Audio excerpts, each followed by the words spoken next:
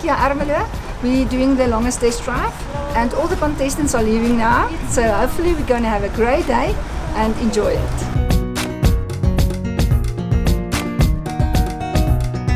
It's the longest test drive that we are trying to set up. The vibe is right. The customers came in early this morning. Boerewors rolls on the fry, so yes, we're, we're ready for this. The most important thing to me is about the safety features that's in the car. It's quite important. So yeah, and it's spacious for a mom. I think this launch of this Sportage is going to be exceptional. It looks stunning. Like it, like it. Very much.